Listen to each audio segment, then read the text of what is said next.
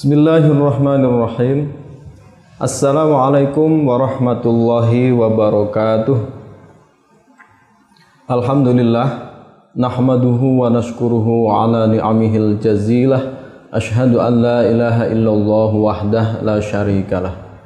Wa ashhadu anna sayyidana Muhammadan abduhu wa rasuluhu la nabiyya ba'dah. Allahumma salli wa sallim ala sayyidina Muhammad ibni Abdullah wa ala alihi wa ashabihi wa mawalah la haula wa la quwata illa billah. Amma ba'd. Saudaraku kaum muslimin dan muslimat yang dimuliakan oleh Allah kita lanjutkan kembali pengajian kitab Bidayatul Hidayah karangan Hujjatul Islam Abu Hamid Al-Ghazali ini di pertemuan yang lalu kita sudah membahas tentang orang di level ketiga di dalam mencari ilmu pengetahuan. Orang ini adalah orang yang mencari ilmu, terus kemudian ilmu itu diperalat untuk mencari hal-hal yang duniawi, pangkat, jabatan, harta, pengikut, dan lain sebagainya. Tujuannya adalah itu dan dia menggunakan ilmu itu untuk memasuki berbagai celah di dalam kehidupan duniawi itu. Sedangkan di dalam hatinya orang ini menyimpan sesuatu dugaan bahwa dia memiliki kedudukan yang tinggi di sisi Allah Subhanahu wa taala karena dia menggunakan eh, apa namanya tanda-tanda ciri-ciri pakaian ucapan yang dikenakan oleh biasanya para ulama begitu. Nah, ini menurut Imam Ghazali, orang yang ketiga ini adalah termasuk orang yang minal halikin, orang yang hancur ya. Terus kemudian minal hamko al maghrurin termasuk orang bodoh yang tertipu oleh perbuatan setan. Itu yang nomor tiga. Kenapa? Kita lanjutkan. Idir roja'u krono utawi harapan iku mungkotiun terputus antau batihi saking taubate wong yang nomor tiga itu. Karena dia menyimpan sesuatu dugaan yang sangat positif. Padahal perbuatannya buruk begitu ya. Maka orang seperti itu tidak bisa diharapkan taubatnya kata Imam Ghazali jadi sulit dinasehati. Nihi krono panyonone wong anahu ing sak temene wong iku minal muhsinina termasuk wong-wong kang berbuat keapian. Karena dia punya dugaan bahwa dia telah berbuat kebaikan. Gitu loh. Nah, ini eh, apa namanya eh, penting untuk diketahui dan disebarluaskan ya agar kita memiliki pegangan di dalam muhasabatul kolbi bagaimana mengevaluasi hati kita. Jangan cuma perbuatan kita akan tetapi juga hati kita perlu dievaluasi. Kalau perbuatan mungkin orang lain bisa tahu, bisa mengevaluasi bagus, buruk, ya, sukses, tidak, begitu punya kendala apa positif negatif orang lain bisa tahu. Tapi kalau hati kita hanya kita yang tahu. Wahwa hale utawi wong iku wafilun lali wong kang lali angkau lihi saking dawuh Gusti Allah taala maha luhur sapa Gusti Allah. Sedangkan orang tersebut melupakan firmannya Allah subhanahu wa taala. A'udzu billahi minasyaitonir rajim Bismillahirrahmanirrahim. يا أيها الذين آمنوا لم تقولون ما لا تفعلون صدق الله العظيم يا أيها الذين هي wong wong akeh amanu kang podo iman kang podo iman sapa ladina lima krono opo takulu nang ngucap-ngucap sira kabeh ma ing sesuatu lataf aluna kang orang ngamalaken sapa sira kabeh. Wahai orang-orang yang beriman kenapa engkau mengucapkan sesuatu yang tidak engkau amalkan? Orang tersebut lupa dengan firman Allah yang seperti itu. Nah, ini seperti yang sudah disampaikan Imam Ghazali di kitab ini di season-season terdahulu bahwa perbuatan setan itu adalah mengingatkan dan melupakan. Gitu ya. Ini harus kita pegang. Setan itu selalu melupakan, membuat lupa kita atau membuat ingat kita. Itu yang harus kita ini. Jadi ulama, godaan orang yang mencari ilmu dan menjadi ulama itu salah satunya adalah dia dilupakan oleh setan terhadap ancaman-ancaman Allah, ancaman-ancaman Rasulullah mengenai eh, tidak samanya antara ucapan dengan perbuatan. Nah, itu eh, perlu diketahui oleh kita semuanya. Sedangkan yang diingatkan oleh setan adalah kedudukan-kedudukan yang tinggi seorang ulama di sisi Allah, di mata Rasulullah, itu yang selalu diingatkan oleh setan. Hal-hal yang buruk-buruk, ancaman-ancaman dilupakan oleh setan. Oleh sebab itu, ngaji seperti ini penting sekali gitu. Satu persatu terus gitu. Itu akan mengkuliti betul hati kita. Gitu ya. Dia dilupakan oleh firman Allah itu. Ya ayyuhalladzina amanu lima taquluna ma la taf'alun. Surat As-Saff ayat uh, 2. Wahua utawi wong iku miman termasuk orang kala kang dawuh uh, fihi ing dalem atau mengenai wong sapa Rasulullah sallallahu alaihi wasallam. Kanjeng Nabi utusane Gusti Allah sallallahu alaihi wasallam. Orang yang seperti itu termasuk di dalam fir, uh, dawuh atau ucapannya Rasulullah Ana min ghairi dajjali akhwafu alaikum minad dajjal Ana utawi ingsun min ghairi dajjali saking saliyane dajjal iku akhwafu luweh wedi luweh wedi lebih khawatir lebih takut alaikum ing atase sira kabeh minad dajjali timbang dajjal ada hal yang lebih saya takutkan untuk kalian semua dibanding Dajjal. Ini eh, apa? Ucapan Rasulullah. Fakila nuli diaturakan, ditanyakan kepada Rasulullah. Wa ma huwa ya Rasulullah? Wa ma utawi apa iku huwa?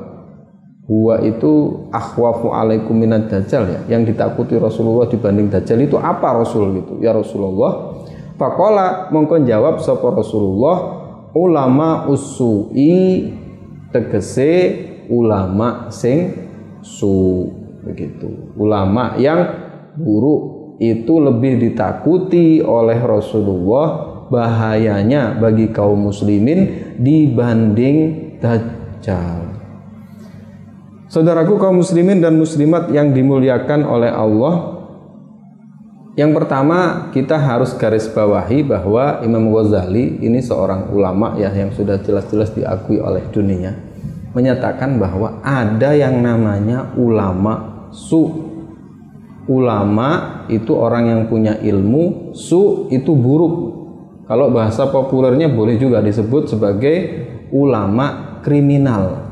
Begitu. Itu ada. Jadi ulama kriminal, ulama buruk itu ada begitu ya bukan berarti terus kemudian kalau orang sudah disebut ulama itu terus baik terus itu tidak juga kan sudah ada cerita di, di dalam Al-Quran Imam Ghazali di Ihya juga kalau mau ambil contoh ya menyebut Bal'am bin Ba'ura itu lawannya Nabi Musa alaihissalam di dalam sama-sama berjuang. Nah ini berarti kan jelas gitu loh. Ada ulama itu yang buruk, ada ulama itu yang kriminal. Nah, ulama yang buruk atau yang kriminal itu jika diadili, maka sesungguhnya adalah bukan kriminalisasi ulama secara umum. Akan tetapi memang mengadili ulama yang kriminal, ulama yang buruk. Nah, begitu ya. Nah, itu contohnya seperti itu itu ada berarti gitu loh. Ulama yang su ditambahi dengan kalimat su itu. Oleh sebab itu hati-hati gitu ya. Kemudian yang kedua, kalau mau dilihat di ikhya Imam Ghazali yang lebih panjang lebar itu ya, ada dari dua sudut pandang sebenarnya kalau kita mau e, menjelaskan tentang ulama su. Yang pertama dari sudut pandang pribadi si ulama tersebut. Saudaraku kaum muslimin dan muslimat yang dimuliakan oleh Allah, yang pertama, seorang ulama itu harus tahu kapan waktunya dia berbicara dan kapan waktunya dia diam. Begitu. harus tahu itu. Kalau ulama yang su dia tidak tahu. Jadi dia taunya hanya berdakwah itu bagus, bahwa berbicara kebaikan agama itu bagus. Hanya itu saja yang dia tahu. Dia tidak tahu kapan waktunya harus diam gitu. Bahwa diam itu lebih baik dibanding berbicara. Nah, analisisnya Imam Ghazali, kenapa orang itu lebih senang berbicara gitu kan? E, kemudian berceramah, berdakwah itu lebih menyenangkan. Itu menurut Imam Ghazali karena memang Eh, li'anna taladzuz li'anna taladzuz uh, bijahil ifadah wal irsyad itu a'zamu ladzatin. Orang yang bisa memberi petunjuk bisa berdakwah memberi nasihat itu diberi oleh Allah kenikmatan yang sangat agung.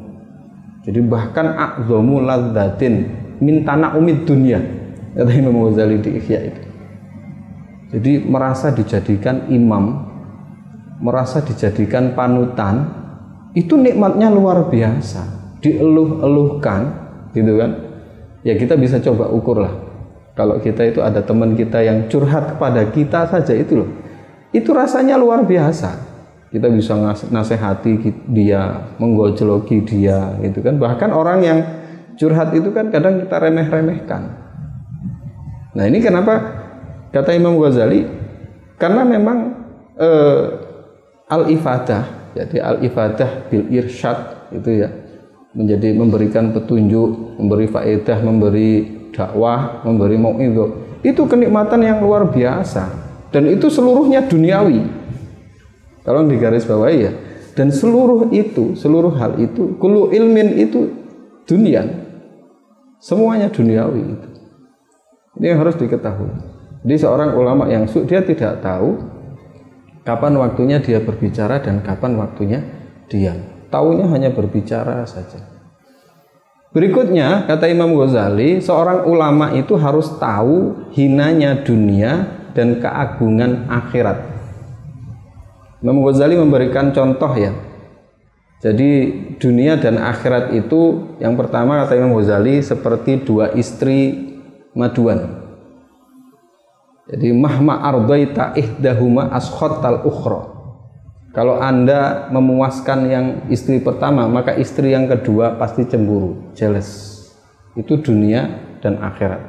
Kalau Anda membelikan rumah istri pertama, istri kedua pasti jealous. Jadi tidak ada dunia dan akhirat bisa disatukan, tidak bisa. Yang kedua, kata Imam Ghazali, dunia akhirat itu seperti masyrik dan maghrib, seperti barat dan timur. Jadi mahma eh, qaribta eh, ihdahuma, kalau Anda mendekati salah satunya itu ba'idda minal akhir. Maka Anda akan menjauhi yang lain. Ini misalnya masyrik, ini maghrib, ini timur, ini barat. Kalau Anda menuju barat, pasti Anda meninggalkan jauh wilayah timur. Sebaliknya, kalau Anda meninggalkan barat, maka Anda akan menjauhi wilayah barat lebih dekat kepada wilayah timur. Tidak mungkin bisa disatu-satukan. Nah, ulama harus tahu hinanya dunia dan akhirat. Hinanya timur, mulianya barat, misalnya seperti itu. Dan dia harus memilih salah satunya. Tidak boleh menggabung-gabungkan dua-duanya. Jadi walal akhiratu khairul laka minal ula itu harus totalitas. Kamu milih dunia apa milih akhirat? Itu ulama menurut Imam Ghazali harus totalitas seperti itu. Nah ini uh, ulama itu harus tahu betul hinanya dunia kemudian keagungan akhirat dan kata Imam Ghazali kalau ulama akhirat harus memilih akhirat. Kalau tadi kan masih ngeper ya. Kalau sekarang Imam Ghazali harus memilih akhirat kalau ada ulama sudah tahu kedudukan dunia, kedudukan akhirat dan masih memilih dunia, bahwa asir asirus syaiton, maka dia adalah tawanan setan. Jadi kayak layang-layang, kayak kayak dilepas gitu oleh setan, tapi ditarik lagi, dilepas, ditarik lagi, dan dia masih tawanan setan terus menerus karena dia masih memilih uh, dunia. Saudaraku kaum muslimin dan muslimat yang dimuliakan oleh Allah, Berikutnya, Ulama yang su itu karena dia cinta dunia, ya, memilih dunia dibanding akhirat. Ada sebuah hadis di Ihya ini disampaikan bahwa Rasulullah, eh, maaf, ada sebuah eh, makalah saja insya Allah di situ ya, yang menyampaikan adalah eh, Malik bin Dinar di dalam Ihya bahwa Allah pernah berfirman di dalam kitab-kitab salaf, kitab suhuf ya, jadi hadis kutsi seperti itu. Ulama yang mencintai dunia akan dihukum oleh Allah paling ringan. Itu disebutkan di sana an ukhrijah halawata munajati min qalbihi. Akan dicabut rasa nikmat bermunajat kepada Allah Subhanahu wa taala dari hati orang tersebut. Artinya ulama yang su itu orang yang malas berbisik, malas bermunajat kepada Allah, berdua-duaan dengan Allah Subhanahu wa taala. Dia lebih menyenangi keramaian, begitu. Dia lebih menyenangi uh, tadi bergaul dengan pengikut-pengikutnya, bergaul uh, apa namanya? dengan kuluma siwallah. Jadi selain Allah, dia lebih senang bergaul dengan kuluma siwallah gitu. Nah, ini Kenapa? Karena memang kenikmatan bermunajat kepada Allah itu dicabut. Sehingga dia malas. Malas berzikir berlama-lama kepada Allah, itu dia malas gitu. Makanya kalau ulama yang yang sebenarnya ya seperti Imam Ghazali ini. Jadi Imam Ghazali kan punya perilaku atau budaya yang namanya eh, apa namanya kholwat ya itu punya hal seperti itu. Ini menunjukkan bahwa munajat kepada Allah adalah suatu hal yang sangat penting dan luar biasa. Begitu. Ini beberapa hal yang bisa saya sampaikan dari Ihya Ulumuddin dari aspek pribadi para uh, ulamanya, pribadi ulama. Kita juga bisa melihat ya dari aspek kita orang-orang awam. Bagaimana sih kadang kita itu melihat banyaknya orang yang mungkin ya mengaku ulama bahkan majelis-majelis ulama di luar sana itu banyak. Akan tetapi ada sebuah hadis yang di Ihya ini disebutkan bahwa Rasulullah bersabda jangan engkau duduk di sisi ulama kecuali ulama yang mengajakmu untuk meninggalkan lima hal menuju lima hal. Saya ulangi. Jadi jangan dekati ulama, jangan duduk di sisi ulama kecuali ulama yang mengajakmu untuk meninggalkan lima hal menuju lima hal. Jadi kalau enggak enggak ngajak meninggalkan lima hal menuju lima hal maka jangan didekati di dalam hadis tersebut. Apa saja lima hal itu kita lanjutkan di pertemuan yang akan datang. Insya Allah wallahul muwafiq ila aqwamit thoriq wassalamualaikum warahmatullahi wabarakatuh